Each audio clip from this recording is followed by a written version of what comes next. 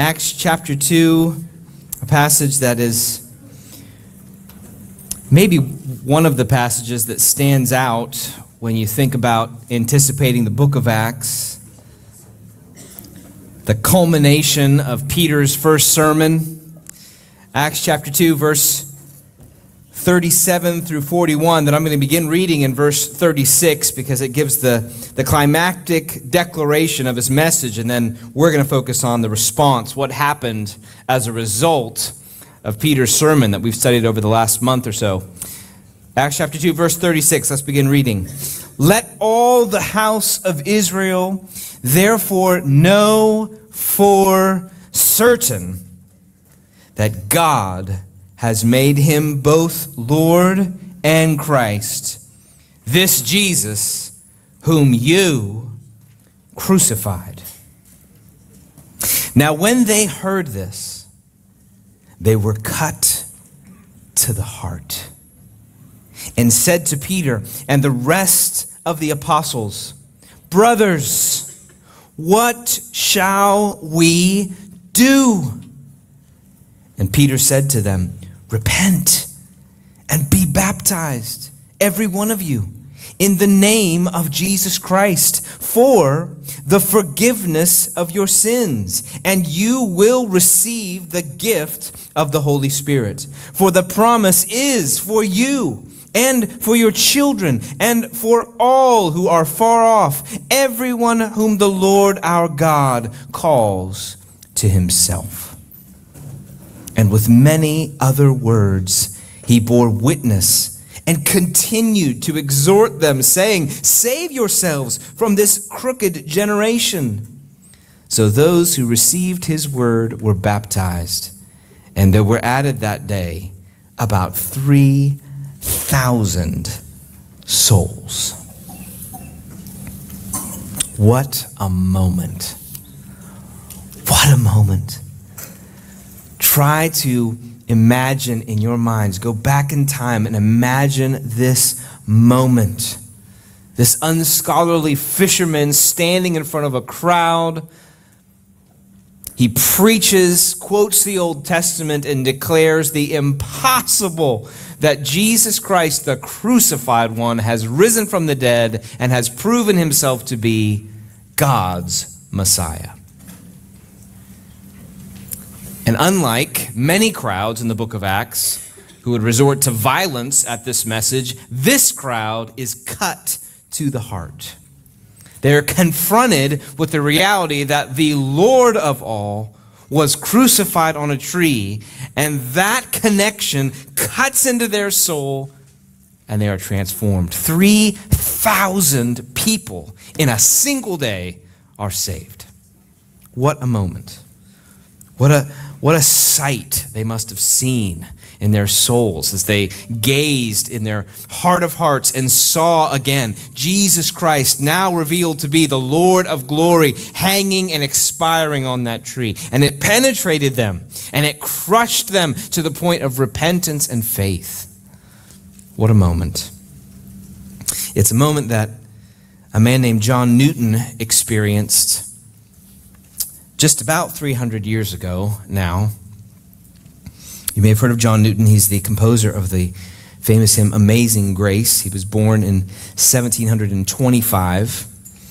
And almost all of us know him for Amazing Grace and also for his work in supporting William Wilberforce, who abolished the slave trade in England.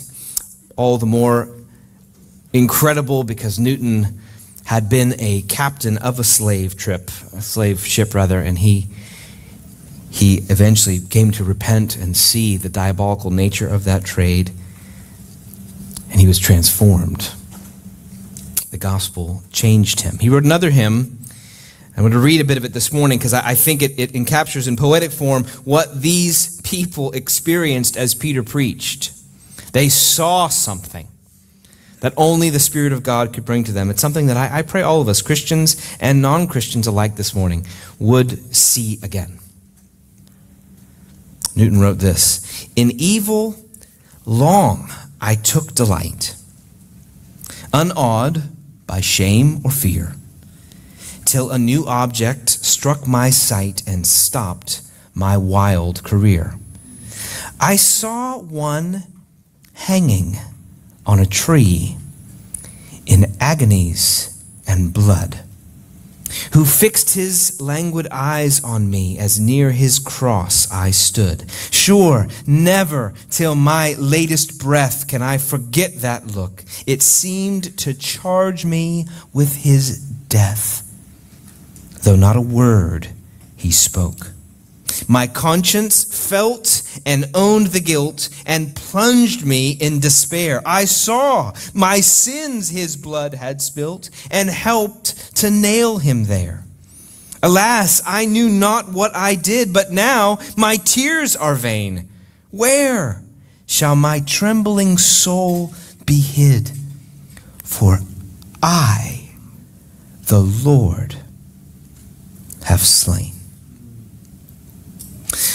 second look he gave, which said, I freely all forgive.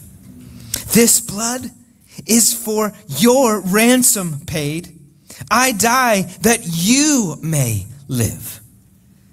Thus, while his death my sin displays in all its blackest hue, such is the mystery of grace. It seals my pardon too. With pleasing grief and mournful joy, my spirit now is filled that I should such a life destroy, yet live by him I killed. My prayer this morning is that this passage would turn every one of us into a John Newton. That every one of us would experience a amazing look. That that conclusion to Peter's sermon, this Lord and Savior, Jesus Christ, whom you crucified, would, would press into our souls and that we would be like Newton and say, we, We've realized the truth. We would experience that combination of being cut to the heart and then lifted up to heaven and exaltation. I think that's what they experienced in that crowd. I want to do kind of two things this morning. I want to walk through the, the passage, and we'll do that in three stages, or kind of three stages uh, to this little paragraph. And then we'll, we'll lose, use the last section of the message just to apply this to ourselves. Let's walk through this passage in, in three parts. First, the conviction, the conviction, is what begins in verse 37 the conviction and then the call and then the conversion. So the conviction in verse 37 we, we read now when they heard this this about jesus who jesus was is revealed to them. He's the risen lord and messiah. And they're confronted with the fact that they were the ones that had called for his crucifixion. When they heard this they were cut to the heart and said to peter and the rest of the apostles brothers what shall we do Let's think about this conviction because that's essentially what that means. They were cut to the heart. It means they were they were pierced with a sense of guilt and responsibility and ownership. The shock and guilt of what Peter had just said and the truth of it penetrated them and left them helpless and desperate. So they say to Peter, "What shall we do?" The most shocking crime in humanity had just been laid at their door. Unbeknownst to them, they had crucified God the Son. And unlike countless other moments in the, mystery, in the ministry of Jesus, this time God allows them to see it. It's, it's very important that we understand them being cut to the heart wasn't something that they did. They didn't choose to cut their own hearts. This was something that God did. It's something that only God could do because we see throughout the book of Acts many crowds who hear the exact same message, the exact same presentation of Jesus, whose hearts are hardened by the message rather than softened. So they pick up stones to throw people who say the exact same kind of thing about Jesus. So this, this conviction that penetrates them is a result of, of God's grace opening their eyes to see the reality of what Peter is saying in human potential that you, you could easily hear this message and ignore it, despise it, mock it, call it blasphemy, but they see that it's true. The means of this is simply Peter telling them the truth about Jesus. There's no special effects. There was no drama. There, there was no video aid. Peter didn't have props. Uh, he just declared, Jesus Christ is Lord of all, and he was crucified, and you are responsible for it. And that and that alone allowed them to come to the reality of Jesus being who he was, and they were crushed with conviction. Notice also the depth of their conviction. Notice that they're, they're cut to the heart, it says. Oh, that was the phrase that affected me this week. I thought, Lord, I, want to stay in touch with being cut to the heart by the responsibility that we have for Jesus' death. May not just be a topic that we reference. May it not just be a, a truth that we slide into our bookshelf and that we confidently glance out now and then to give us assurance of salvation. Lord, let, let there be a cutting to the heart this morning and in my own heart. Their, their self confidence is broken. They came to Jerusalem as God fearing Jews from around the world. They thought of themselves as belonging to the God of Israel, and yet now they are cut to the heart. Now they are, they are shattered in their own self assessment. And then notice the result that they're not content with just feeling grief. They want to do something. That's always the case with true conviction. It always motivates you to do something.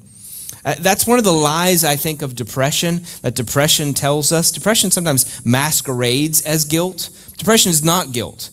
Because depression says, I'm just going to remain in this place of feeling terrible. Guilt, real guilt, always leads us to action.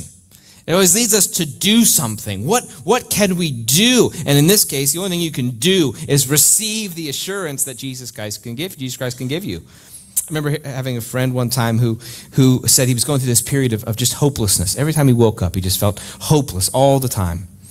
And he went to a pastor who uh, knew him very well, so I wouldn't recommend this as your first point of counsel uh, when somebody's depressed. But this pastor knew him very well, and he said, I'm, I'm hopeless all the time. And this pastor said to him, I, I don't think you're hopeless enough. If you were really hopeless, you'd stop trying to look to yourself and you'd cast it all on Jesus. And there's something true in that about when we experience real guilt, and these people experienced real guilt. What, what can we do, brothers? I have to do something. I, I can't just stay in this place of, of grief and guilt and pretend like that's enough to feel bad about it. What can we do? So this conviction penetrates them, breaks their heart. They see Jesus like that hymn of Newton and they say, I, I saw one hanging on a tree and I realized who he was and my, my heart was crushed and broken and I had to do something about it. That leads to the call. Peter said to them in verse 38 Repent and be baptized in the name of Jesus Christ for the forgiveness of your sins, and you will receive the gift of the Holy Spirit, for the promise is for you. You know, it's easy to um, become familiar with passages like this as Christians, the truth of the gospel we hear about let's try to be freshly amazed at this this morning. Peter just said to the people who crucified Jesus that they're responsible for it. They say, What shall we do? And he says, Turn from your sin and be baptized in Jesus' name. Have you thought about the surprise of that? Has that struck you recently? That the only thing they had to do was believe in the one that they had crucified? Isn't that a shocking thing? Is it shocking enough to your heart, to my heart this morning? I was, I was meditating on that. Just, am I, Lord, I want to be broken by this again, affected by this again. All they had to do was turn from their rejection of God and believe in Jesus. That's all they had to do. They, didn't have to, to whip themselves every day for the rest of their life. They didn't have to climb upstairs on bare knees. They didn't have to go to some foreign nation and live in poverty for the rest of their life. They didn't have to go to purgatory and burn for years and years and years to make up for what they did. And they just had to repent and believe in the very one they had crucified. That's, that's the gospel we preach. The one we destroyed has become the means of our salvation. The one who died because of us is the only way we can be saved. My sin from this last week was what necessitated Jesus being on the cross. And the only solution for that blasphemy is to turn to him and say, Will you receive this sin from me? And every time he says, Yes. What good news that is. That's what he says. What a shocking turn of events, Peter says. What a shock. Isn't that a shocking turn of events? Brothers, we've just committed the worst sin imaginable. What can we possibly do? Wouldn't you expect it that Peter might have said, Nothing. There's nothing you can do. Now, other people, Sure, they can believe in Jesus, but not you. There's nothing you can do. Yeah, sure, Jesus died for sinners, but not you. Not you. You crucified Jesus Christ. Do you have any idea the outrage of the angels when they watched you do that? Do you have any idea the kind of restraint that had to be exercised by God the Son when he watched you do that? Do you have any idea what it sounds like in heaven to hear people taking the name of Jesus as a curse? Do you have any idea? So, no, for you, nothing. I'm just letting you know there's nothing you can do. The worst imaginable thing has been done by you, and there's nothing that can be done for you. I mean, imagine if, you put yourself in the place of, of the father. Imagine if, if somebody ravaged your son the way these people ravaged his son. Imagine that. I mean, I, I would be out of my mind with fury. And all the politeness and gentle categories in the world could, couldn't stop me. That's why maybe I, I, I wouldn't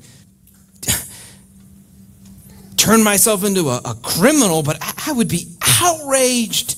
And I would say, in response to this question, there is nothing you can do. Peter says, Repent, which costs you nothing, and be baptized. And here's the shocking irony in the name of Jesus Christ. The one you crucified is the one who invites you to take his name. And the news keeps going. For the promise is for you. It's for you. For you. It's for you. Worst sinner imaginable. It's for you. It's for you. And not just you, it's for your children. If they believe in Jesus, they can be saved. And it's not just for people right here. Anyone far off, they can be saved if they believe in Jesus. This is the call. What do we do, brothers? Believe in the name of Jesus Christ, and you will be saved. And your children can be saved if they believe in him. And anyone far off can be saved if they believe in him. This is the fountain filled with blood that we sing about in hymn. It's opened up for all of humanity. Anyone who is willing to receive that piercing of heart, seeing their sin, and to believe in Jesus Christ as the Messiah. Yes, believe in him. Repent and believe. And you can be saved, he says and you will receive what? The Holy Spirit of God Himself. Remember, these are God fearing Jews. They're in Jerusalem for the feast. And think about the surprise of this. Not only will you not be judged and destroyed, you will now have closer access to God than Moses had. What a reversal! Isn't this a reversal? Not only will you not be decimated and sent into the ground like those rebels in the wilderness, or stoned like Achan was after he stole from God, or judged like the Israelites in the desert. No, no, not only that is not going to happen. You, you now get to experience God's presence with you in a way that David never did and Moses could never lead the people to do. You, you now get to receive the gift of what? God Himself coming to dwell with you.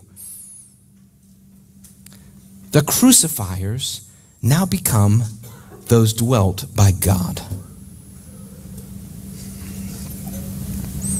That's the call. What do you do? Believe? What's the motivation to believe? You'll receive God Himself. And there is no person, not the worst sinner, not the youngest child, not the person in the farthest reach of the earth, that is excluded from this call. Nobody. There is nothing you've done in your life worse than what these people did in crucifying Jesus. And Peter says the promise is for you.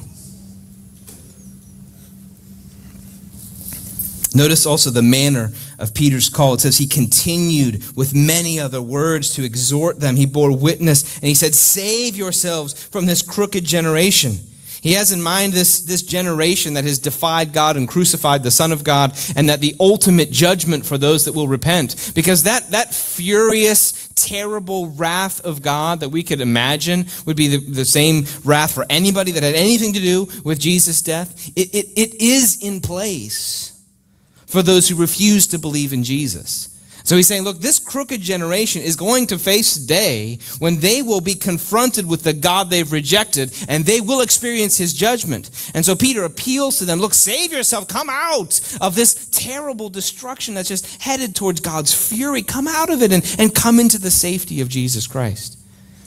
Peter, in his, in his letter, uh, he, he talked about Noah, and I, I can only imagine Peter felt like Noah in this moment. I, I, I imagine he, he felt like Noah because he talks about that later in his, in his letter. He talks about how Noah, there was an example in Noah of the gospel. And I imagine he's standing there, maybe on this ledge or balcony or something. He's preaching to this crowd. And I imagine he just comes into his mind the imagery of there's a flood of wrath coming, and I know the only ark. And so he, he appeals to them. And I think uh, he imagines himself almost like a modern day Noah. And he says, Look, look, look, here's the only ark that's going to be safe when God's wrath comes, is named Jesus Christ. Get in. Get in. Do not stay with the people who crucified Jesus and defy him. Do not stay with them. Get in. He appeals to them. And still to this moment, we don't know what will happen. There's a, there's a kind of a beautiful drama in this passage. We don't know what will happen. I mean, think about it. Jesus taught a lot of people that were initially affected by his teaching, but then ultimately were looking to destroy him. So they felt bad of sorts, they were interested of sorts, and then Peter says you have to repent and you have to believe. And we all know that experience where we kind of feel bad about something that we actually never do anything about. Have you ever had that experience? You feel bad about it, but it never actually changes anything. Oh yeah, I feel I feel terrible about that, and then you do it again next week. I mean, we've all had that experience, right? Well, that could have been this crowd. And so the drama of the passage builds until we get to verse 41. Here's the result what God does in the hearts of these people, it says this So those who received his word were baptized, and there were added that day about 3,000 souls. 3,000 souls. I mean, 3,000 people. I mean, try to imagine that. Jerusalem had somewhere between 50,000 and a couple hundred thousand people at this time. Imagine 3,000 people in a single day coming to faith in Jesus Christ. The percentage of the city, even, is overwhelming in a single day. That they, they see it and they believe it and they respond and they come to Jesus. I want the promise of the Holy Spirit. I want to believe that I can be forgiven from crucifying him. I, I, want to accept Jesus as the Messiah. I will be baptized. I will stake my reputation, my future, my identity, all on what Peter says is true, and I will claim the name of Jesus. I now belong to him. Where's the next church meeting? Think about that. Think about the transformation for the church. I mean, these disciples, I mean, never was there church growth like this, okay? I mean, this little group of 120 people. All right, so look around. Like, I don't know, there's something 120 ish or something in here. I, here's our little church, and we believe in Jesus, and we're surrounded by people that hate him, okay? It's not nice, Christianized America. People that hate him all around us. We're this lonely group of people And tomorrow, there's 3,000 people, all of whom have confessed their sins, have believed in Jesus, and can't wait to learn more about what it means that God sent a Messiah to die on a cross. What a day that must have been! What a day. What does that mean? What does that mean for us? It means that the gospel is advancing with power in the hearts of those who will receive it. The gospel is advancing with power in the hearts of those who will receive it. I think that's the main point we're supposed to take away from, from this result of Peter's first sermon. This, this, gospel about Jesus Christ, the news about him, there's no flashy drama display or anything. It's just talking about Jesus. It has the power to convert 3,000 people in a day. And not every day. I mean, probably good because Peter would have died early. But, but it's, it has that power. When God penetrates the heart, they see Him, they see Him there on that tree, they realize who He is, and they change and they respond and they want to join the church and become part of His fellowship. I mean, we need to be affected by the advance of the gospel, the gospel that is advancing with power in the hearts of those. You notice at the last phrase there, those who received the word. So no, it's not just universalism. If you hear the message, you'll you'll ultimately be in heaven. If you know about Jesus, you'll ultimately be in heaven. No, there's there's a receiving of the word. That's how the gospel works. It penetrates the heart, it breaks up the hard ground, and then fruit comes out of love towards Jesus and faith in him. I mean, try, let's just try to get into that moment and feel the power of it. Feel the power of the gospel, because I think we need to feel this if we're going to respond to it. Imagine Peter and the other apostles baptizing people late into the night looking for fresh places in the river? Can we find a baptismal outside of the temple courts? Where, where, can we go? And, and imagine the 120 working into the evening, explaining and teaching and praying, probably tearful people saying, I can't believe I didn't see who he was. I can't believe it. And, and everybody now is now a leader. I don't care who you are, you're a leader in the church, okay? And you are now, you have groups of people and you're leading them and praying for them about Jesus. And I want you to come over here. Go, go, there's five people over there and they are weeping, you go encourage them, comfort them, tell them their sins are forgiven. And this person wants to know how in the world it can be that Jesus could have been cursed by God. Well, let's take, take them, help them understand what it meant that Jesus died on the cross. And, and you go over there, we got eight more need to be baptized. Imagine what a night that was, what a week that was like. You're watching person after person with their heart broken by the truth about Jesus Christ and coming to that, that like Newton says, pleasing grief and mournful joy. This wonderful news. I, have lived by him I killed. I now have access to God. imagine a Jew who's traveled from Crete coming to the temple to see where God's presence is from a distance and suddenly realizing God has come upon them and they're experiencing the presence of God.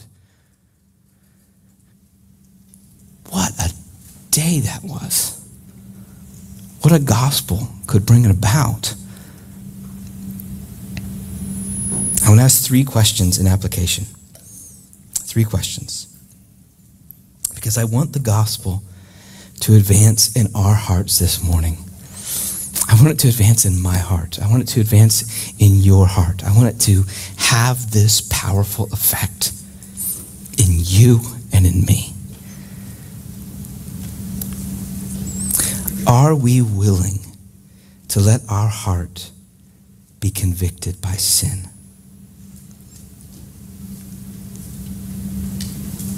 Conviction is the necessary doorway to joy.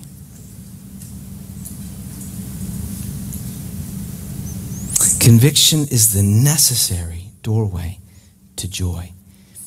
You can't see Jesus in his glory as Savior unless you see yourself as someone who needed that salvation.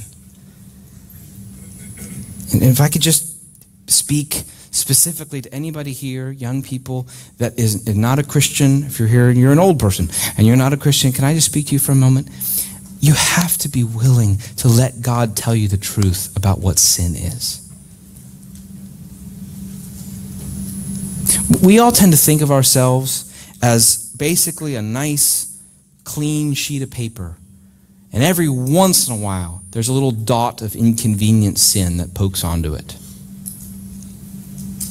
What God sees is the reality of a life lived in rejection of Him,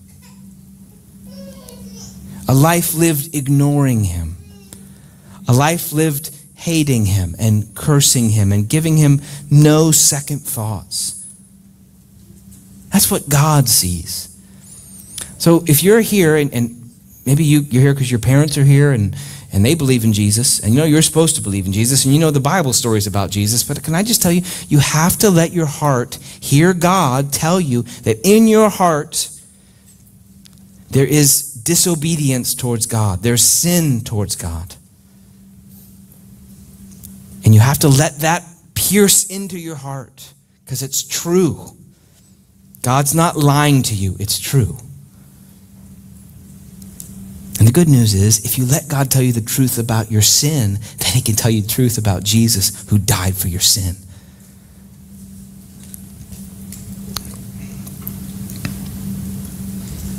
Conviction is the necessary doorway to hope.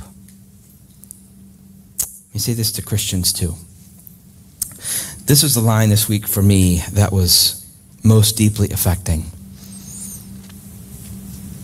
Just began to ask myself the question Am I cut to the heart still by sin?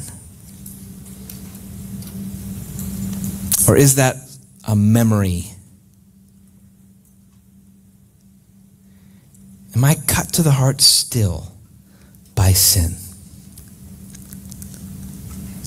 A shallow view of my own sin will result in a shallow view of my Savior. The goal isn't that we would endlessly dig into the depths of our sin. The goal is that we would see the depths to which Jesus had to go to save us. So sin isn't the end, but it is a means. It is a means to that end. We're not going to understand the cross unless we understand sin. I, was thinking this week about just, just a, one example. I, I, a few nights ago, I was sitting at dinner, and my daughter very sweetly made some kind of teasing comment about something that was awry with my shirt and had been all day. And something that was wrong. And, and in that moment, I just noticed an impatience. I don't have to, you know, it wasn't, it didn't explode out of me. It wasn't, you know, no verbal, you know, just kind of a little look at my wife, a slight indignation. So then Lori brought it up to me later. She said, It seemed like you were bothered by what she said. It seemed like maybe that was pride. Now, how do I think about that moment? How would you counsel me if you were sitting down with me at that moment? Here's everything in my soul and what it wants to say. Don't do it, but no big deal. Like 99% of my natural reaction to realizing that I did that was don't do it, but no big deal. I didn't shout at her. I didn't belittle her. I didn't storm. I wasn't ruined for the rest of the night. I wasn't grumpy all night long. It was, don't do it, but no big deal. I mean, that's everything in my mind tells me that's how I should think about that.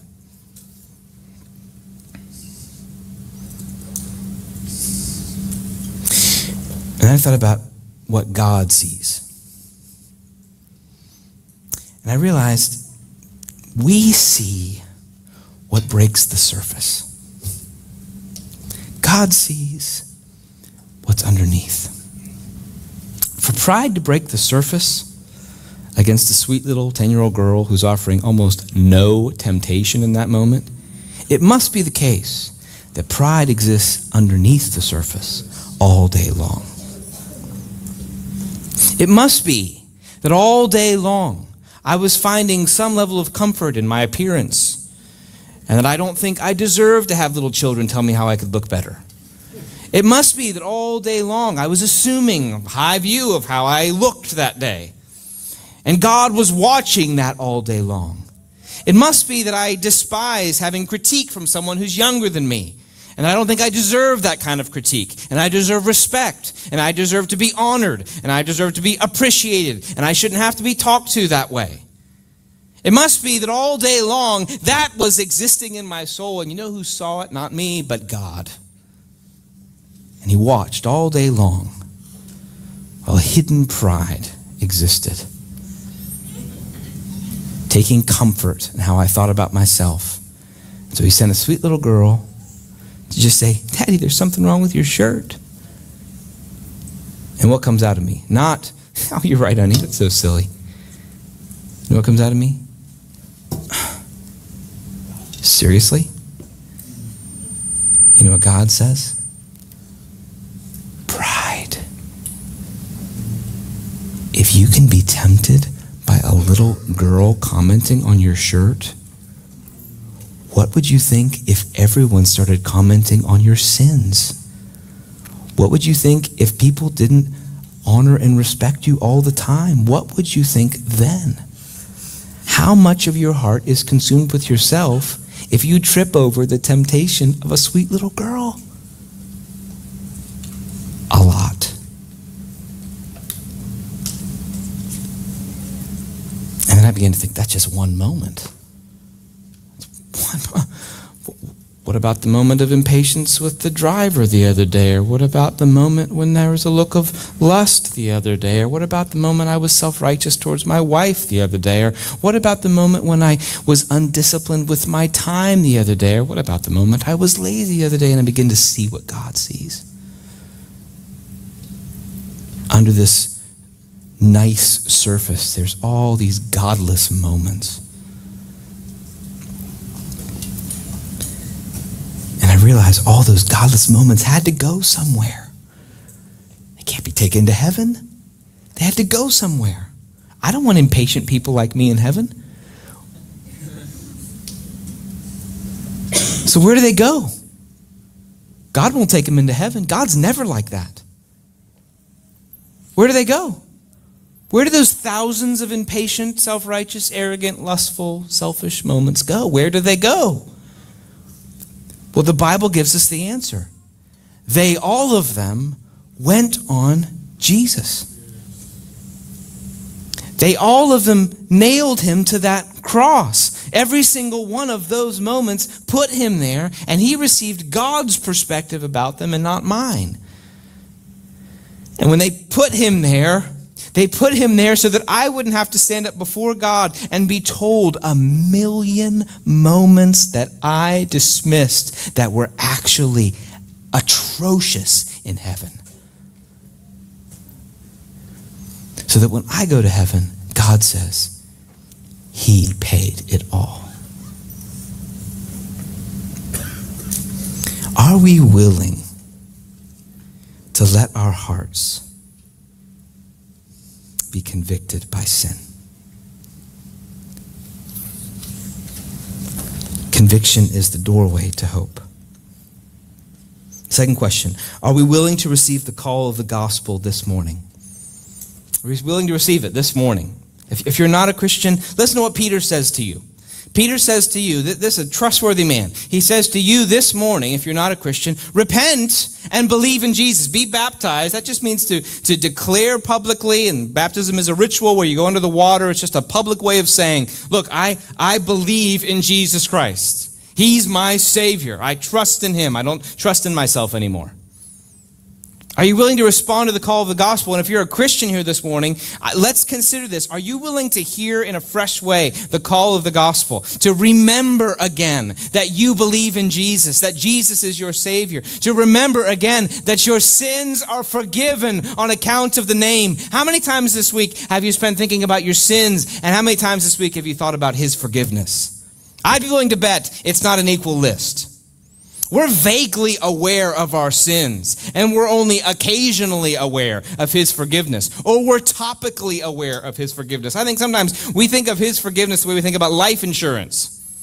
Maybe every month or so, or every six months or so, we, we remember, okay, am I, yeah, I, I think I'm good. All the payments being made, we're good. It's there, but it's not fresh. It's not in front of us. It's not affecting us. It's not gripping us. And my prayer this morning is that the gospel would advance in our hearts the way it advanced on that day. Is the gospel advancing in your heart such that you're receiving the call of the gospel again? Receive the forgiveness of God through Jesus Christ again. Receive it. I'm talking to you, Christian. I know you were saved 20 years ago, but I want to ask you right now, are you aware of the forgiveness that God offers through Jesus Christ? Right now, this morning, are you aware that God offers complete and total and categorical forgiveness for everything you've done? There is nothing you have done that is worse than what they did. And He says the promise is for you. And He says this morning, you can be forgiven of your sin this week. Neglecting the joy of forgiveness is devastating to every Christian. Are you enjoying forgiveness this morning? I think that's the call of the gospel. Look, this gospel is advancing. It advances to 3,000 people that day, and it can advance to your heart this morning. The Holy Spirit has been given to you. Are you aware of that this week? This week, the Holy Spirit given to you in spite of the difficulty in your family, in spite of the temptation of this boss at work, in spite of the way that you're treated by various people in your life. Are you aware that God has given himself to you because of what Jesus did on the cross? Is that transforming the way you think about your parenting and your marriage and your work and your evangelism? Is it transforming that thinking? If not, let's let the gospel advance into our heart again. Let's let the truth that we've been given forgiveness and the presence of God, let's let it advance. This is our identity. This is our identity. This is much more important to us than we have a yard to mow tomorrow and we've got to work out this vacation plan and we've got to figure out this bill that has to be paid and did I ever get that thing done back to my accountant and did I did I figure out what's going on with my neighbor and what about this problem with the car? This is more important than any of that. You have been given forgiveness in Jesus name and the presence of God is with you. That identity is more important than anything else in your life. Let the gospel advance into your heart again. Final question Are you willing to be transformed by the advancing gospel? Everything about these people's life was about to change. Everything. I mean, to be baptized in the name of Jesus when the Sanhedrin itself had crucified him was life altering. This gospel is worth being transformed. Let's ask ourselves is our life defined by the advancing gospel? Is it defined by it?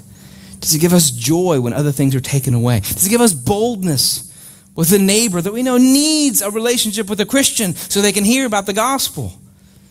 Does the power of this gospel motivate us towards our parents or our children or our cousin or our coworker when they need to hear about the gospel? Does it motivate us when we think about what we're going to do first thing in the morning, what we're going to do last thing at night? Does it motivate us when we're feeling discouraged?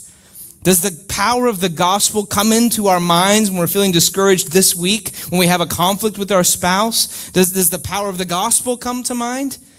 Let, let's let it come to mind. Let's let our, our our conflict this week be transformed by the power of the gospel, and our, our communication be transformed by the power of the gospel.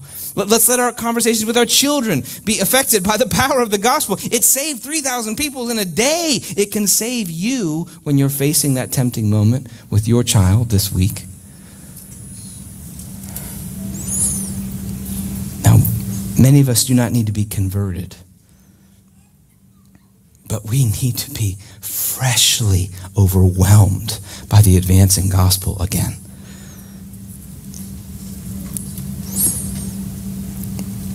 Let's not just say we're gospel centered. Let's think about this good news this week.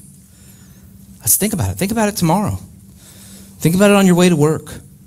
Find a way to put the gospel facts right in front of you and meditate on them until you marvel and marvel at them until you worship.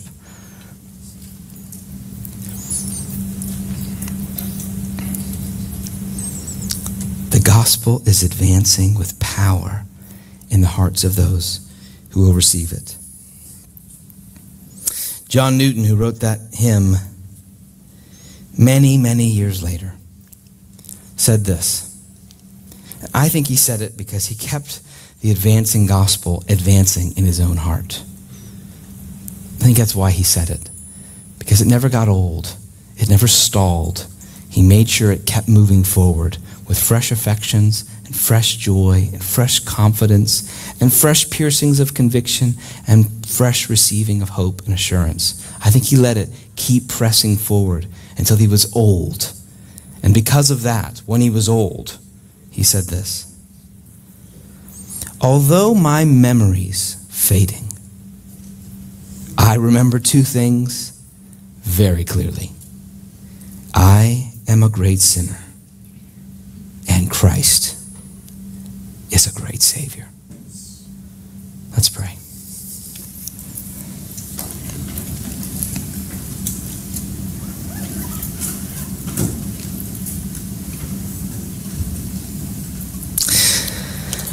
Lord Jesus, we thank you for dying for our sins, giving us forgiveness.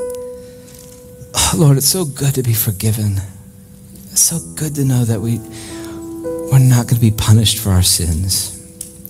Oh, we're not even aware of how serious they are, Lord, and to face punishment for them, Lord, would be devastating eternally, and yet you have created forgiveness thank you for that, Lord. And I pray for anyone here that has been doubting your forgiveness. Lord, I, I pray that you would re-speak that beautiful phrase from Peter into their hearts. The promise is for you. Lord, please make eye contact, contact with them right now, Lord. Please do that, Lord. I just ask you. The promise is for you.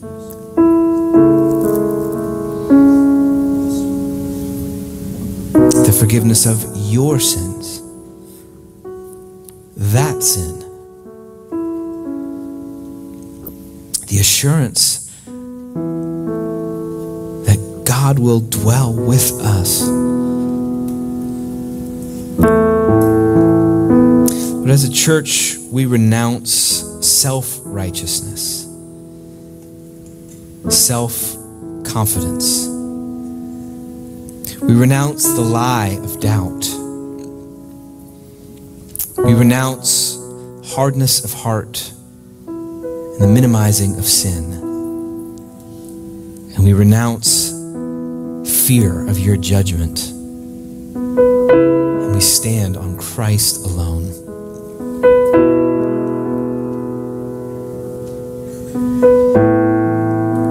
Lord, advance this gospel in our hearts through us to others. Advance it, Lord.